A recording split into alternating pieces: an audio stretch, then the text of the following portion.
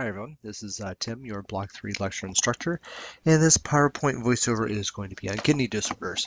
Primarily it's going to be on uh, pyelonephritis, glomerular nephritis, chronic renal insufficiency, acute kidney injury, and urosepsis. Um, it's kind of lengthy, but it's pretty informative. Um, I try to keep things as uh, basic as possible. Um, if you have any questions, let me know. Um, the first um, couple slides are actually uh, pictures of the kidneys and the um, and in the anatomy of inside the kidney. Um, just familiar yourself as far as what the kidney does. you know what what is actually purpose of the entire organ for the uh, the body as, as far as the um, the flushing of fluids and the excreting of uh, of waste. So um, again, just familiarize yourself because once you understand all of that, everything else seems to kind of fall in line and is pretty basic. So here's your uh, first picture, which is the kidneys, ureters, and the bladder. Here is your nephrons. Um, this is actually inside the kidney. Um, the, the big important parts of this are going to be the glomerulus, um, the Bowman's capsule, and um, the uh, tubules.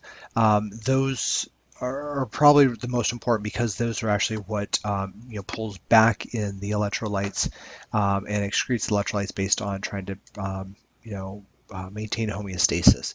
Um, so remember the kidneys are, are, constantly trying to balance things out within the uh, circulatory system. Um, here's the formation of urine. So um, the um, afferent uh, arteriole is what actually um, causes the um, the circulation to go through the glomerulus, um, and then it's the actual Bowman's capsule that is going to uh, pull in what it needs, and then if it does need it, it actually pushes it back uh, through the circulatory system, and if it doesn't, it actually produces urine and will excrete it um, out of the kidney. Um, for number one is the filtration of the glomerulus. Um, I'm not really expecting you to know all these numbers. Um, I just want you to understand that, that these are probably the most important electrolytes and byproducts of um, the circulatory system and what the kidney does to help um, pull in and, and, push stuff out. Again, you're you're wanting to know this just because of the fact that it's all about the balance. Um, we can start off with with water. You know, if you're dehydrated, obviously, um, your kidneys are going to try to pull in as much as it possibly can um, to keep you as hydrated, um, and water follows salt, and vice versa. So if you um, need more of it, then it's going to you know maintain it, and if it doesn't, it's going to excrete it. Um, the chloride, bicarb, and potassium work the exact same way. what I want you to know as far as the potassium is that you have to remember if there is something wrong with the kidney and it's not able to function the way it's supposed to, a lot of these electrolytes um, are being held and not being able to be excreted. And potassium actually affects every muscle in the body, including the heart. So um, keep that in mind when you start to look at these electrolytes and go, hmm, you know, this has been kept and it's getting on the high side. What else is it really affecting? Um, we've got the glucose, um, the urea, uh, binding creatinine. I mean, those are, are you know, indications whether or not your kidneys are actually functioning properly. So, um, so like I said, just kind of keep these all in mind and, and kind of figure out, well, if it's too high, what else is it affecting? If it's too low, is it actually affecting something else? So. All right, so we've got the kidney, uh, the glomerulus. Uh, each nephron contains tufts of capillaries that filter large plasma proteins and blood cells. Uh, the tubules, um, they receive filtrate from the glomerular capsule and reabsorbs water and electrolytes through active transport. And the loop of Henle is passively uh, reabsorbing sodium and chloride for osmolality, and then they actually um, also uh, passively and actively remove sodium and water. So again, um, the, this is pretty much the kidney in a nutshell and what it really does. And uh, and it's it is basic, but I, I think if you get too in depth with what each individual part of the kidney does, um, it starts to get too um, too complicated in a sense that again, you know, as, as a bedside nurse, you're really looking at what does the kidney do. You're looking at labs to be able to um, to prove whether or not it's functioning correctly, and you're trying to make sure that you know whatever is happening with your patients you're actually correcting. So um, so keep it pretty basic and i think you'll do well All right, so for the first disease process, this is pyelonephritis. is the inflammation of the renal pelvis, uh, commonly caused by bacterial infection, uh, urinary flow obstruction, or reflux. So um, if you've listened to the other PowerPoint, which was on the uh, urinary disorders, um, basically the way I think about it is, you know, a patient gets a, a UTI and um, they're not doing anything to really take care of it, um, whether it be not being compliant or, or just not knowing that they actually have the UTI. As it gets worse, it travels higher up through the uh, urethra to the bladder, from the bladder to the kidneys, and, and that's where this comes in. So, um, for the most part, your patient has probably had some sort of urinary tract infection that has actually traveled up to the, uh, um, the renal pelvis. Again, it's, it's caused by bacterial infection. Um, most commonly, it's actually from E. coli. Um, and I don't try, I'm not trying to sound um, crude, but it's really more of hygiene and um, and not you know carefully um, maintaining the peri area, um, and then that's you know usually how that kind of gets there. Uh, pyelonephritis can be acute. It can, uh, can progress to bacteri- bacterium, bacteremia, which is obviously uh, blood infection with bacteria, or it can eventually cause chronic pyelonephritis. Um, chronic pyelonephritis is recurrent attacks of um, of the pyelonephritis. It's dysfunction of the nephrons and causes scar tissue. So if your patient, you know, gets pyelonephritis over and over and over and over again, it actually will start to shut down the kidney because it's starting to affect um, the interior and causing uh, scar tissue. Uh, the ureters become fibrotic and uh, become narrowed, which is not very good because if you have listened to the other PowerPoint, we talked about the kidney stones, you want things to be as dilated as possible. So, um, and being narrowed is not allowing urine to flow um, as freely as it should. And again, this uh, chronic pyelonephritis can actually lead to renal failure. So, symptoms of pyelonephritis, uh, we've got fever and chills because that's a sign of infection. We've got nausea. You've got definitely flank pain on the affected side. Um, you'll have a headache, uh, dysuria, uh, frequency and urgency, cloudy, bloody, foul-smelling urine, and increased white blood cells. So for the symptoms, it's it seems to be pretty easy in the sense that, uh, again, the fever and chills is from the infection, increased white blood cells is because of infection.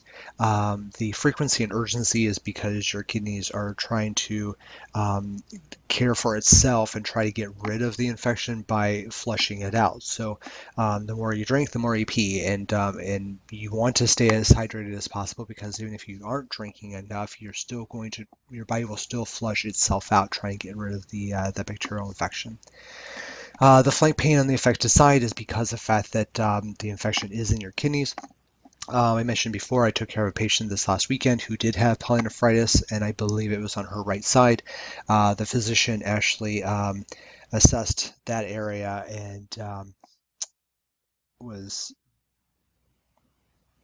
doing some auscultating and, and some, you know, assessment of that area, and it really, really hurt. I mean, she practically jumped off the bed. Um, so it's definitely uh, painful. Diagnostics, you're going to do a urine dipstick testing. Um, they're going to do a microscopic analysis or a UA. Um, it's going to be marked with polyuria or a positive leukocyte esterase test. Uh, microscopic hematuria or a positive heme dipstick. Um, so essentially, this is a um, you know, an amped up version of a of urinary analysis. You're going to pee in a cup. They're going to send it to the lab. They're going to test it. They're going to find out exactly uh, what the cause is, and then they're going to you know, prescribe an antibiotic that's susceptible to that, uh, that bacteria. Interventions, uh, you're going to monitor for uh, vital signs, especially temp. Uh, you're going to include encourage fluid intake up to 3,000 milliliters per day. Um, it seems like a lot, but uh, two things. One, the more you drink, the more you pee, and the um, more you drink, the more you're actually going to dilute and try to help your body flush out the uh, the bacteria itself. Um, it's also going to reduce the, the, the fever. So uh, you're monitor eyes and nose, so you want to be able to be very strict about it. Um, output is at least 15 mLs per 24-hour period, um, which doesn't seem a lot in the sense that you are drinking 3,000 cc's a day. But in the same sense, too, you are really trying to hydrate yourself um, uh, and in trying to be in the on the positive as opposed to in the negative of uh, your ins and outs. You're going to do daily weights. Uh, daily weights are always a good idea, especially if you're drinking 3,000 cc's a day. Um, 3,000 cc's a day and retaining that much fluid, your weight obviously is going to go up. Um, and just because you're taking care of a pyelonephritis does not mean that you're not taking care of someone who has pyelonephritis, but also has comorbidities like CHF and COPD. Um, so you got to be able to balance out what they're able to consume, how do other organs function, and how is it going to affect them, and you know not putting them into uh, into more problems. You want to do adequate rest. Uh, a patient that had the pyelonephritis this last weekend, she literally slept all day long. She didn't feel good, but she really just slept a lot. Um, you want to put them on a high calorie, low protein diet. Um, the kidneys are what um, processes proteins. So if the kidney is already working hard to uh, care for itself based on the bacterial infection, um, you don't need to add more proteins for it to work harder to try to break that stuff down. You want to do a warm compress or bath uh, for flank pain. Um, that actually helps a lot. One, it actually dilates um, things as much as possible, so things can be a little bit better, but it also, um, the, the, warmth itself actually makes it feel better. You're going to prescribe analgesics, antipyretics, antibiotics, and antiemetics. And you're going to follow up with a UA um, after so long to make sure that what you are treating the uh, pyelonephritis for, as far as the antibiotic, make sure that it truly is working. Um, they will also probably end up doing a UA after antibiotics are done because they want to make sure that there's not still another problem or it doesn't turn into a chronic pyelonephritis. The next disease process is glomerulonephritis. Um, it's a proliferative and inflammatory change within the glomerular structure. Um, essentially, it's destruction. It's inflammation and um, sclerosis of the glomeruli. Um, and essentially, you will have loss of kidney function. The cause is immunological, um, or it can be also autoimmune. Um, most commonly, it's from a strep infection and the history of uh, pharyngitis and tonsillitis, which seems interesting because I um, uh, people have had tonsillitis and had uh, pharyngitis in the past. Um, we also probably had immune systems that were able to care for the rest of our bodies while we had this, so it probably wasn't doing too much damage. But again, you're you're taking care of people who are sick or have other comorbidities. Adding something else like pharyngitis and tonsillitis um, and you know CHF and COPD and all the other stuff, or even something as simple as diabetes, um, this definitely can actually affect the kidneys. Symptoms of glomerulonephritis is going to be gross hematuria. Um, it's going to be dark, smoky, red, brown urine. Um, it's going to have proteinuria that produces a foamy urine. Um, I've actually seen this, which is very interesting. Um, you know, you have your uh, patients, especially with guys, you know, they, they stand to urinate and uh, um, they go and it actually foams in the in the bowl. It's actually um, quite interesting. Um, it's going to have a moderately high urine specific gravity. Um, what I do need you to know or remember is that specific gravity is 1.010 uh, to 1.025, which is a normal range. Um, one thing that I've also wanted to mention too is that um, the lower the patient is hydrated, um, urine specific gravity actually increases. And with hydration, um, the more that you have them drink, the more hydrated they are, the lower the specific gravity actually gets.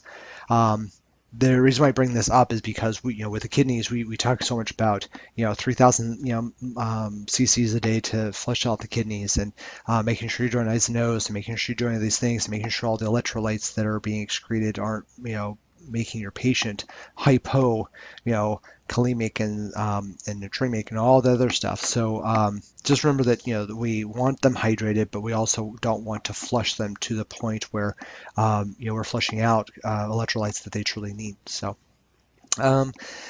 Let's see here. Also, uh, for symptoms of glomerulonephritis is a low urinary output, um, or I'm sorry, a low urinary pH. Uh, the UA, the urinary, urinary, analysis, will have large numbers of erythrocytes. Uh, your patient will also have nausea and vomiting, abdominal and flank pain, um, which makes sense. They'll also have edema. Uh, what's happening is that the kidneys are not functioning correctly. You are actually retaining a lot of fluid. Um, with that retention, you're going to get the you know the edema and the third spacing. Um, so you want to look at that, and, and the next symptom is shortness of breath. So with the shortness of breath, you're really looking at ascites and pleural effusion in CHF um, because not only are they retaining the fluids because their kidneys are not functioning correctly to flush it out and actually excrete all the urine and all the fluids that they're consuming, uh, but their heart's not pumping right or their lungs aren't um, able to, um, you know, uh, exchange that fluid. And the ascites, I mean, you know, let's have, um, let's say here, 36 year old female uh, comes in with a UTI. It ended up turning into pyelonephritis, and this 36 uh, year old female is also an alcoholic, and she's been drinking for the last you know 20 years. Um, you know, with ascites and having fluid already built up, and then pyelonephritis on top of it, she's not able to actually pull out the the fluid in any manner, so it just turns into a bigger mess. Um, with the fluid um, overload, you're going to have hypertension, obviously, and then um, you're also going to have an increased BUN and-creatinine because the glomulars are not actually filtering out um, the byproducts very well, so the BUN and-creatinine actually goes up. So for diagnostics, um, you're going to do a UA. Uh, the UA will actually show red blood cells, white blood cells, which is an indication of inflammation and infection, and it will also actually show a high amount of protein um, in the urine because of the fact that the kidneys can't necessarily break it down and utilize it the way that it should. And because the kidneys aren't excreting the byproducts, uh, the BUN and-creatinine is going to actually uh, increase. This is a picture of a normal kidney and the glomerulonephritis. Um, I just thought it was pretty basic and simple that, you know, like I said, it, it actually affects the glomulars and, uh, you know, when they're not able to function correctly, then, you know, again, you're going to restore retaining fluids and, uh, and retaining the byproducts. Interventions for glomerular nephritis is going to be monitor uh, vital signs, especially blood pressure and temp, because of the fluid um, overload. You're going to um, do strict and and also inspect the urine as far as characteristics. You're definitely going to do daily weights because of the fluid overload, um, which is going to also be um, edema. Um, the overload is going to be probably either contributory from ascites, uh, congestive heart failure, or pulmonary edema.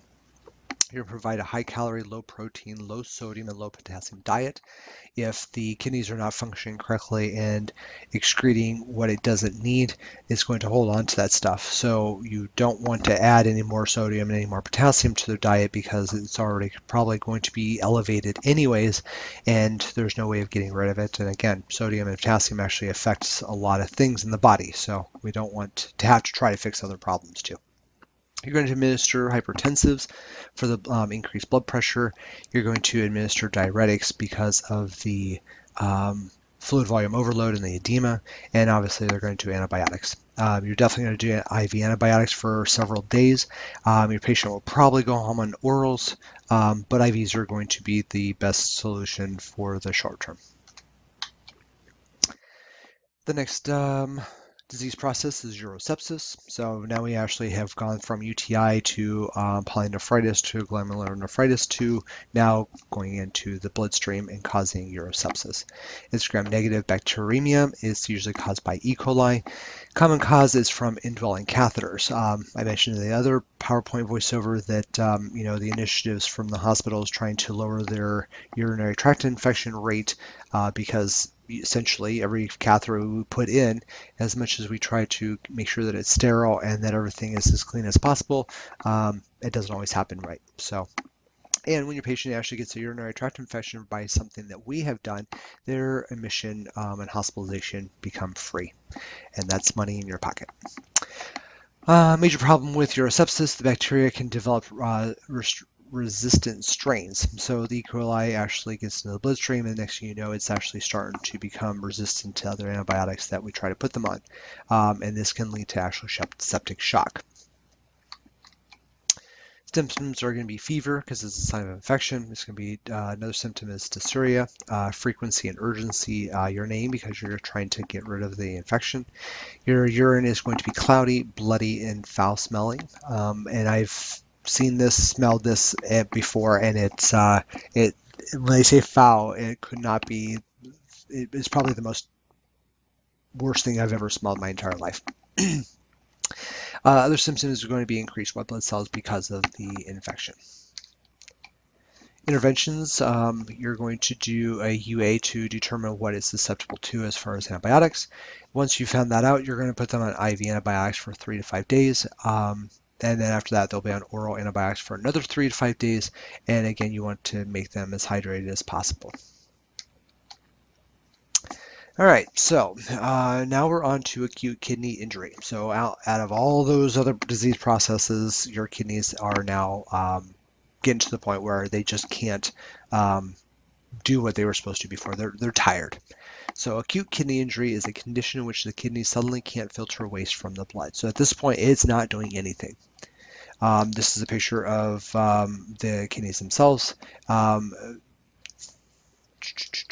other reasons for acute kidney injury is going to be not enough blood supply to the kidney, kidney damage from other disease processes, or blockage of the urine, um, which based on the other PowerPoint voiceover, um, it could be kidney stones, it could be a blockage, it could be a million different things. But if urine's not passing and it's there, then it's going to get backed up and that's going to cause damage to the kidneys themselves.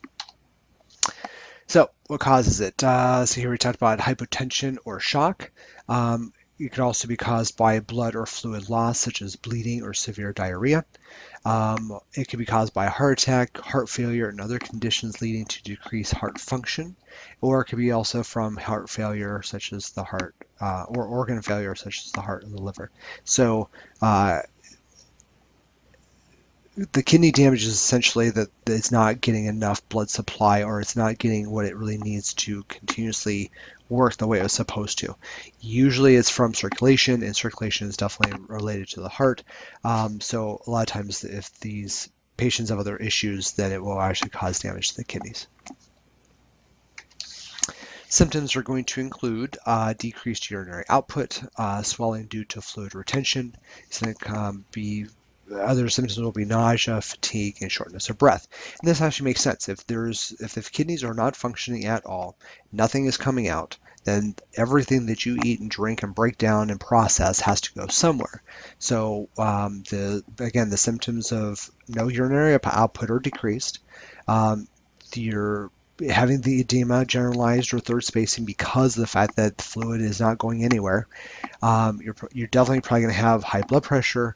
Uh, the nausea is because of the fact that your body now is becoming toxic and it has it's trying to take every orifice of your body and trying to expel whatever is in there out so that way you can try to actually maintain homeostasis. And again, you're going to have shortness of breath because of the fact that fluid has to go somewhere, and the path of least resistance is always the lungs. Um, or you can have no symptoms, uh, but experience whole uh, body water electrolyte imbalance or fatigue, or you can also have um, insufficient urine production or urinary retention. Um, I don't think this is something where you wake up and all of a sudden you just realize that you aren't peeing correctly. I think this is over a process of time. Um, but in the same sense, too, patients will start to realize, hmm, I'm not urinating as much as I used to before, or it hurts when I actually go, or I'm having some pain. I mean, the, these patients have other symptoms that usually brings them to a doctor and not feeling well, and then based on their symptoms is when they're diagnosed with actually having some sort of kidney issue. Um, let's see here. So diagnostics, they're going to measure urine output. They're going to uh, do a urine uh, analysis. They're going to do blood tests. They're going to do um, testing on and creatinine, phosphorus, and potassium, and they're also going to um, uh, test it for proteins. They're also going to do what they call a GFR, which is a glomerular filtration rate to find out if the kidneys are actually filtering something. They're also going to do some imaging testing, such as an ultrasound, to see if those are actually functioning correctly. And then this picture is a kidney biopsy. Um, patient lays flat on their stomach, and then they basically put a big old bored needle into their kidney and take a sample. It's uh, very painful. Um, you're definitely gonna, your patient will come back from this procedure. You're going to give them a lot of pain medication, and uh, and hopefully they. Uh, I mean, it, it, lasts for at least a good 24 or 48 hours, but it's very painful. Interventions are going to be medications. Um, you're going to do furosemide, um, and there was another medication that I actually pulled off, and the reason why is because it's something that I wasn't uh, very aware of, and, and we don't use it very um, often in the hospital. So I thought, well, there's this one less medication you need to worry about.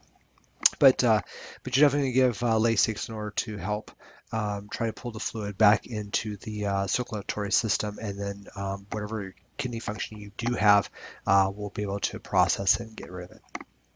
Uh, medical procedure is going to be dialysis, um, and I'll give you pictures of that later. Um, they can also do stents um, if there is a problem with the uh, kidney itself, as far as if there's something blocking it, they usually can go in and put a stent to allow um, uh, circulation to uh, continue and to become better. Um, the stents can be placed in the bladder, the prostate, or um, oh, I'm sorry, the um, the stents could be placed because of um, there's problems with the bladder, the prostate is enlarged, which is not allowing the urine to pass, or because of cervical cancer, it's um, also affecting the flow of urine itself. Um, stents can also be placed because of enlarged prostate, um, problems with nervous system that affect the bladder and urination. So if you have had patients who have had traumas, um, there's certain nerves that will be affected and it doesn't allow them to actually urinate. Uh, kidney stones could be another reason why it's blocking something. So the patient's going through acute renal failure um, and blood clots in the urinary tract. Um, you know, we uh, talked but we will eventually talk about uh, the TURP, which is the transurethral um, resection of the prostate. Um, there's a lot of blood clots and stuff with that. And uh, even though you took out one problem, which was constricting, not allowing urine to pass, but now all of a sudden you've got clots that are not allowing urine to pass. So, um, so anyway, stents are usually done for all these things in order for urine to uh, pass better. And again, you're going to do fluid, fluid replacement because your body's trying to create homeostasis and will probably uh, urinate as much as you possibly can. All right, so if that all else fails, you will have chronic renal ins insufficiency. And this is a gradual loss of the kidney function. Uh, chronic kidney disease reaches an advanced stage when dangerous levels of fluid, electrolytes, and waste have accumulated in your body. So at this point, your you know potassium is like six, and your sodium is 150, and um, you know your creatinine are off the charts, and, and this is to a point where your body is, is literally becoming poisoned. Um, its treatment for chronic uh, kidney disease focuses on slowing the progression of the kidney damage, usually by controlling the underlying cause.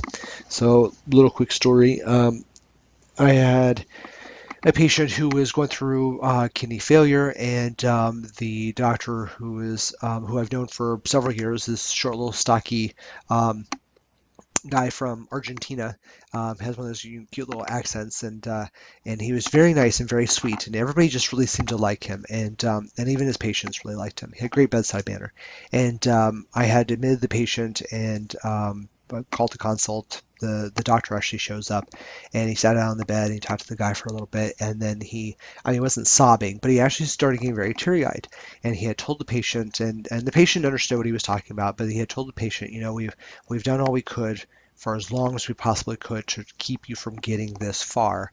And here is the end, which was the the fact that his kidneys weren't functioning anymore. So um, again, this is gradual and it's a slow progression and, and there are things that you can do whether it be medications or um, you know diet and, and odds ends of stuff and, and they really for a year tried to do everything they possibly could and uh, um, and it worked for a while but again you know it just eventually didn't so so the chronic renal insufficiency is, like I said, a progressive, slow um, problem.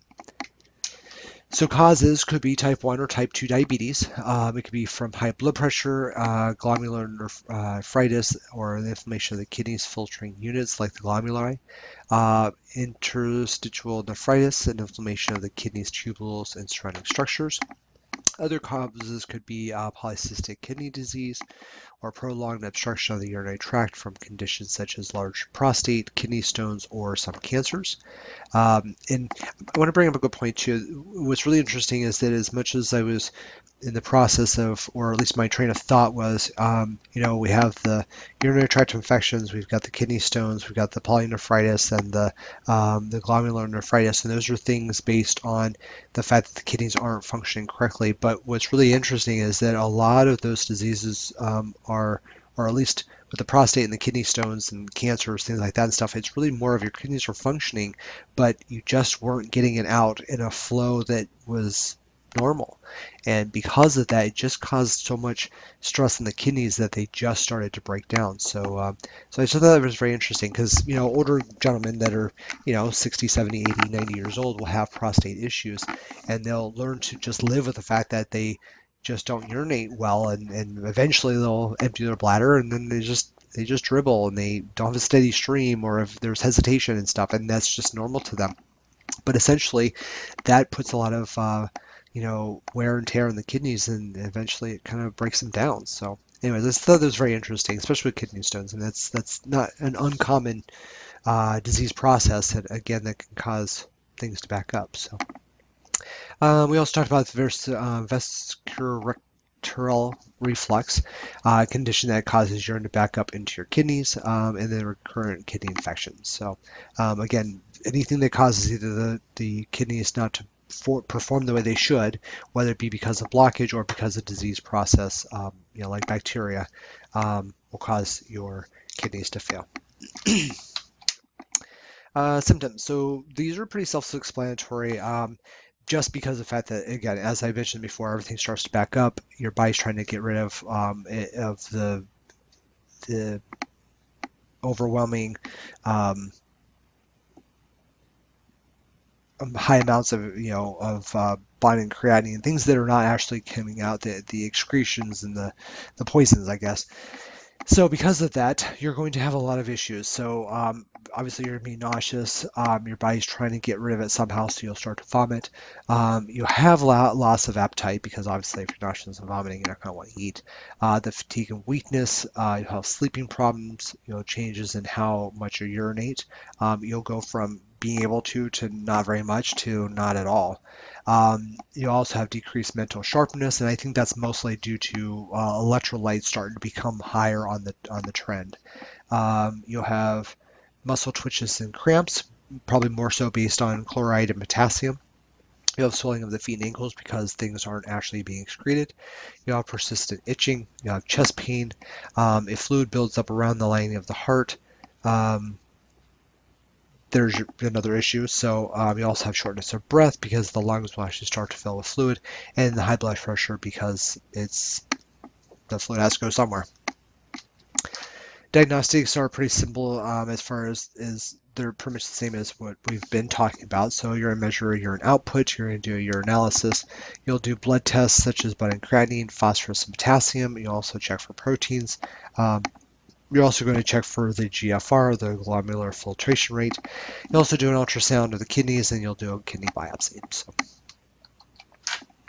Interventions are going to be medications to treat. Um, you're going to try to, to um, treat the blood pressure being high.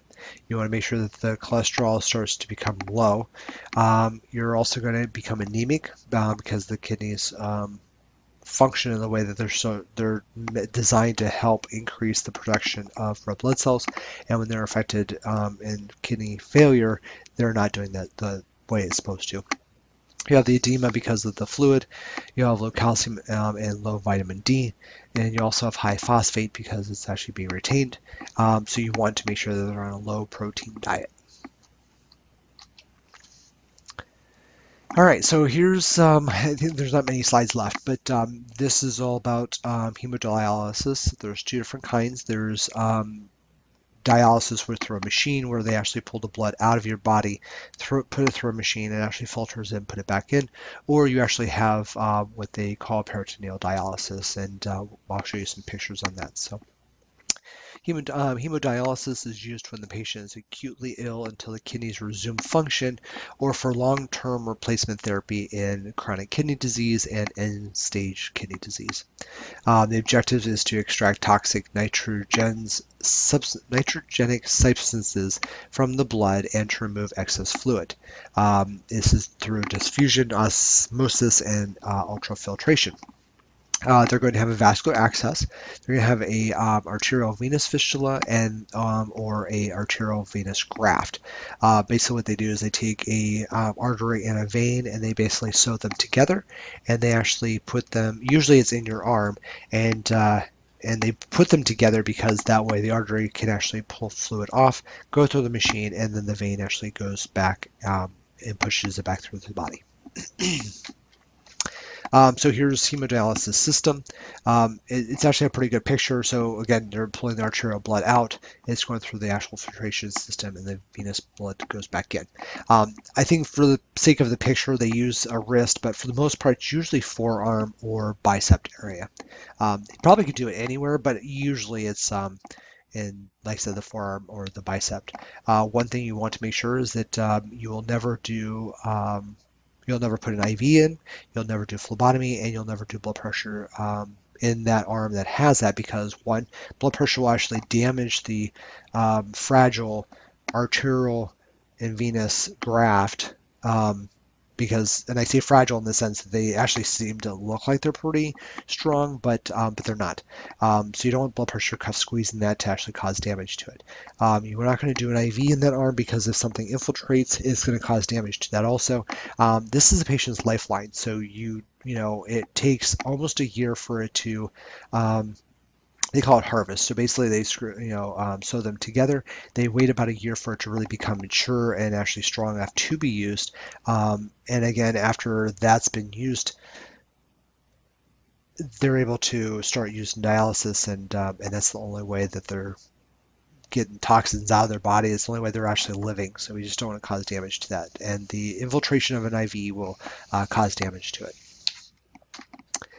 Um, see here, there's also a hemodialysis catheter, which um, you see the picture here. Um, the AV fistula that was in the picture before is usually the most common for people who are chronic dialysis patients. This is actually probably more temporary. Um, it can last for a while, but for the most part, if someone's going to be on true dialysis for like the rest of their life, they're going to go from this device, which is the catheter, to an actual AV fistula. Um, one thing I didn't actually mention too is that um, when the AV fistula are in the arm, you actually can feel what they call a thrill and bruit. Um, so you can actually feel um, the actual, um, like almost a vibrating um, feeling in their arm. It's, it's kind of creepy, but it's kind of neat in the same way. All right, so see here, internal arterial venous fistula and graft. So again, this is what I was telling you about as far as they'll take um, the artery and the vein, they'll actually sew them together, um, um, or they'll actually bypass the two, which is picture B. Um, it's like I said, it's actually really kind of neat. And it's kind of creepy at the same time, but it, it's it's just very interesting. All right, so see here, renal replacement therapy, um, peritoneal dialysis. Um, so this is where it gets a little interesting, um, whereas the dialysis is pretty straightforward. Pull blood out, pull it through a machine, pull the blood out, and put it back in your body. This is actually do more of um, of your body based on what you put into it will actually pull fluid out and put it into your um, and more of your abdominal cavity, and then it'll actually drain. So it's actually fairly um, interesting too.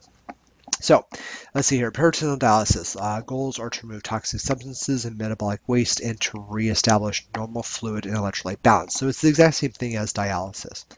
Um, its peritoneal membrane serves as a semi-permeable membrane. It does ultra infiltration and it does peritoneal uh, catheter. And I'll show you a picture in a second. Um, acute intermittent, it could be also continuous, but allow the patient to uh, be ambulatory. And it's um, continuous. Um, and I'll explain how this really works in a little bit. Complications can be peritonitis, uh, leakage, and also bleeding. So here's peritoneal dialysis. So basically you um, have a patient who has a port, which is where this guy's belly button is. And if you actually look at the little smaller box, it actually has where the catheter goes in, and it's actually in the peritoneal um, cavity of the abdomen. Um, the dialysate goes in, you let it sit there, I believe, for four hours. It will actually pull out from the vascular and from the, the skin, you know, as far as the, um, the extracellular space, it'll pull all that stuff into the peritoneal cavity. And once it's pulled in because of the dialysate after four hours, what you'll then do is you'll then take the same tubing in the bag and you actually lower it below the patient, and based on gravity, will actually pull all that stuff out sounds really kind of cool and it's very interesting. What is really nice about this is that um, with peritoneal dialysis, your patient can do this anywhere. Um, they're going to do it round the clock, uh, but they can be, you know, they could do it at home and then they can go to the mall and then they can actually come home and then do it again and then they can go do something else and go dinner and come back and, and it allows them the freedom to be able to do this when they need to do it but do it for themselves. And most patients who have actually had this, um, they know how to do this better than I could. Um, I've yeah, sometimes you get a little rusty at some skills, and, and you're trying to remember off top of your head how it works. And, and patients will say, well, here, do this, do this, do this, and, and this is how this works, and this is how this works. Okay, we're going to set this over here. So for the most part, they really know what they're doing because they do this themselves every single day, several times a day. Uh, with dialysis, um, the patient is stuck Monday, Wednesday, Friday or Tuesday, Thursday, Saturday going to a clinic where they actually sit there and it takes three hours. And then after they're done, they don't feel well um, because it's it's dehydrated them because they they want to make sure that they can go every other day without becoming fluid volume overloaded. Um, so they try to pull off as much as they possibly can. So uh, the peritoneal dialysis is probably a little more convenient. The problem though is that uh, because of the fact that where the catheter goes in, there's a hole and there's your source of infection. Um, so for the most part, a lot of these patients will get some sort of peritoneal infection, um, which will require some you know antibiotics and Again, this is also their lifeline. So if this doesn't work, you know, what do you do? Create another hole, or you end up putting them on dialysis, which is what they don't want to do? Um, so there's kind of a fine line between what will work and what won't, and what's going to, um, you know, essentially you don't want to do a procedure that's going to kill you because it just didn't do what I was supposed to. All right, so for the nursing process, the care of a hospitalized patient on dialysis um, for an assessment, you're going to protect vascular, access, um, assess the site for patency, signs of potential infection, and do not use blood pressure cuff or blood draws, which I mentioned before. Carefully monitor fluid imbalance. Um, you're going to monitor IV therapy, accurate I's and O's, and IV administration pump. Um, so one thing I was going to mention to you also is that um, with dialysis or even peritoneal dialysis, um, you will have patients who will still have the ability to urinate, have patients who have the ability to urinate but not as much, and then you actually have some patients who are anuric and do not urinate at all. So um, when I first became a nurse, I thought, oh, you're dialysis, so you shouldn't pee. Well, it, it it is for some but not for others. And so when they are able to urinate, they do have some kidney function. It's just not enough, and the dialysis is what has to you know be able to pull it off. Um, let's see here. You're also going to assess for signs and symptoms of uremia and electrolyte imbalance. Uh, regularly check lab data. So um, again, you're going to have patients who have uh, dialysis, um, whether it be through a machine, which is every other day, or through a peritoneal, which is at least a couple times a day. Um, but in the same sense, you still have to be able to follow labs to make sure that what you know either you're not pulling off too much or you're not pulling off enough. You're going to monitor cardiac and respiratory status carefully because, again, fluid volume overload is either going to cause respiratory issues um, or the cardiac, um, the heart itself is actually either going to work too hard to be able to circulate the, the volume or you're going to have high blood pressure and, um, and tachycardic. Uh, let's see here, you're also going to assess cardiovascular medications, uh, which must be held prior to dialysis. So when the patient does dialysis, it's pulling off the waste and the excess fluid, um, and then what they need goes back in them that actually will lower their blood pressure. So you don't want to give them blood pressure medications, especially if they're, let's say, 120 over 80 or 130 over 85. Um, then they go to dialysis and now they're at 100 over 70. Um, dialysis is going to definitely drop it. So, and I also found too that I just hold all the medications just because there are certain medications that will um, be filtered out through the dialysis machine. So there's no point in giving them all the pills, sending them to dialysis for them to filter it all out, and then you don't know what worked and what didn't. So I usually just hold on all. Uh, let's see here. Interventions for patients on dialysis. You're going to monitor all medications and medication dosages carefully because there are certain medications that are processed with the kidneys, and if the kidneys are not functioning correctly, then not only will it try to process it, um, but it will also not process them correctly. So let's use the example of you taking a multivitamin. You take it in the morning, whatever your body doesn't need, you usually urinate it out. That's why your urine is so dark from taking the multivitamin. Um, your patients are the same way. You give them medication, and it they their kidneys do not have the ability that if they don't need something that they can actually filter it and release it. So you want to make sure you have the right dose or at least um, renal doses so that way you're not giving them too much. I had a patient that was on Neurontin and we um, had increased the dose because he was having a lot of nerve pain from the diabetes, but because he also was a dialysis patient, that increase in dosages actually made him very um, lethargic, and it didn't knock him out, but it was enough that he slept a lot. So, and I kind of asked, was like, I'm not really sure why he's acting this way, and the doctor, the kidney doctor, was like, well, it's because we increased the dose, and that's what the side effect was. Uh, let's see here. You also want to address pain and discomfort. I think the uh, dialysis patients tend to have generalized uh, pain. Um, it's dialysis is very hard on the body, and uh, and it does cause a lot of um, problems with just different systems, and pain seems to be one of the side effects.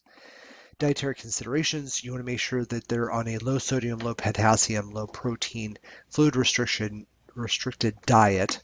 Um, there's no point in putting them through dialysis and then coming back from it and then having, you know, a steak with, um, you know, a baked potato and tons of salt and sour cream and everything else, and then washing it down with, you know, a Coke. Um, because all you've really done is just just put it back into their system, and they're going to feel like crap the next day. Uh, skincare. So you want to make sure that um, you try to keep them as moisturized as possible. Um, patients who are on dialysis are very, very, very, very dry skinned. Um, it's because they're dehydrated. We purposely overly hydrate that overly dehydrate them to make sure that they're always in the negative. So when they do dialysis every other day, it's shorter runs. Um, they're not having to pull as much fluid off, and they're not putting so much um, you know problems on the heart and the lungs and every other bodily system that's affected by having uh, urinary problems, renal problems. And you also want to do uh, CAPD, which is um, the peritoneal dialysis catheter care. Um, you want to make sure that it's nice and clean. You want to make sure that you're using alcohol, you're using chlorhexidine. It's a sterile procedure to be able to uncap one and actually attach it to the actual tubing. So, um, and once you get the hang of it, it's really not that hard. It's almost like doing Foley's. You get in the, the you know, uh, the routine of knowing where to place stuff to keep things as uh, sterile as possible. And this is kind of the same thing. But, uh, but again, you know, they have a open hole to their you know, insides, and we don't want to introduce bacteria or cause some sort of contamination and uh, cause infection. All right, so when all else fails, um, and kidney, and if your patient who is on dialysis is on a transplant list, they are eligible for a kidney transplant. Um, so if they are lucky enough to get one, um, they will have kidney surgery. So what you want to do is actually go back to your block two um, or your OR pre-op PACU um, memory.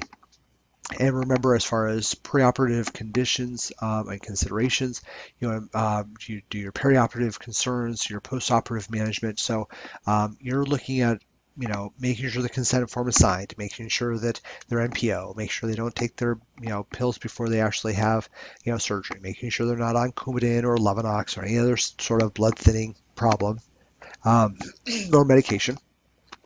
Um, you want to make sure that um, you know during the OR that they're able to tolerate um, surgery, so they're going to put them through some sort of cardiac clearance, uh, whether it be echo or EKGs, or you make sure all the blood blood work is done to make sure that they're not too thin or too thick, or their electrolytes are off.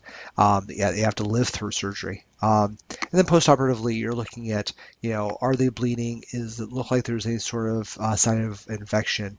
Um, you know, you also want to make sure that the um, they don't have the potential of abdominal distension or paralytic ileus um, because of the fact that you know anesthetic slows everything down. So um, that's including the bowels. So you want to make sure they don't have a problem with that. Uh, there's a potential for infection, and there's also a problem uh, potential for thromboembolism. So postoperatively, don't forget, you know, your patient has a risk for um, pneumonia, um, DVTs, and PEs, and all the other happy stuff. So like I said, go back to your uh, block two and your, uh, you know, pre-op PACU OR memory. All right, so for um, them to remove the kidney, here's your um, your positioning and incisional approaches. Um, not necessarily needed to know. I just thought it was very interesting as far as how they place the patient in order for them to remove it. And then you actually have the kidney transplant. I have a friend who recently, about a year or so ago, actually received a kidney, and uh, what they did is they actually kept both kidneys. Neither one of the kidneys were working, but they weren't diseased or they weren't actually um, causing any you know, anatomical problem. So they usually leave them there, leave everything cooked up the way it's supposed to be. Um, and what they do is they actually took the, let's call it the third kidney, and they actually put it in your, um, in the ilium of your pelvis. Um, so it's in, very interesting. In fact, he lifts up his shirt and you can actually see it, and it's it's it's kind of creepy, but it's kind of neat. Postoperative nursing management um, for assessment, you're going to include all body systems. You're going to assess for pain, fluid and electrolyte status. Um, because it's a new kidney, you want to make sure that it's actually working appropriately. Uh, patency and accuracy of urinary drainage system. You want to make sure that what kind of goes in is coming out. Um, for diagnoses, uh, ineffective airway clearance based on the possibility of pneumonia, ineffective breathing pattern, um, acute pain, fear, anxiety, impaired urinary elimination, and risk for fluid imbalance. Complications could be bleeding, pneumonia, infection, and DVT. Postoperative interventions, you're going to do, do pain relief um, based on incision and the fact that you've added a new organ. I'm sure there's going to be a lot of pain. Um, you're going to promote airway clearance and effective breathing patterns. So don't forget your incentive spirometer, doing it 10 times a, you know an hour. You're going to turn in cough and deep breathe, um, and you also want to make sure that they're um, positioning themselves um, back and forth. Two things: one, um, the more you reposition, the less likely you're going to get pneumonia, and things won't start to collect and, and settle but also repositioning is actually, I mean, even if you're 25, 30, 40 years old, you still can get bed sores, um, even from kidney transplants. So um, a lot of times they lay in one spot because it's comfortable, and then they forget to actually move, and next thing you know, they're breaking down. Here, monitor, uh, I think that's. Uh, Oh, monitor urinary output and maintain patency of urinary drainage systems. So again, you want to make sure that the, what goes in is coming out. Use strict asepsis, uh, asepsis with catheter. Um, I think that's just to make sure that, you know, obviously based on the fact that they have a new kidney and them actually having a Foley, you don't want to make sure that you don't need to give that new kidney an infection. You monitor for signs and symptoms of bleeding, encourage length exercises, early ambulation, and monitor for signs of DVT. Patient education, instruct both patient and family. So, um, you know, this is new to them. They uh, are received a new kidney and life is now changed. It, it, they no longer have to dialysis, you know, three times a week and they no longer have to feel like crap all the time and they no longer have to take a million medications in order to uh, survive. So um, you're almost trying to instruct them on how to go back to the way life was prior to all this happening. Um, also, education on the draining system, especially the Foley catheter, strategies to prevent complications, um, you also want to instruct them on signs and symptoms. Uh, there's a lot of problems with, um, you know, it's great that you received a new organ, but your body has to be able to accept it. There's a lot of medications you have to take to make sure that it still continuously works.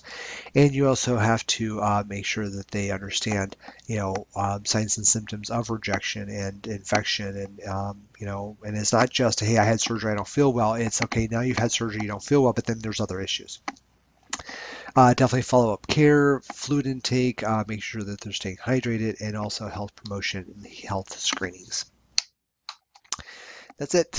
So 53 minutes. Um, let me know if you have any questions. Um, I try to be as detailed as possible, but then in the same sense also kind of not go into too much depth.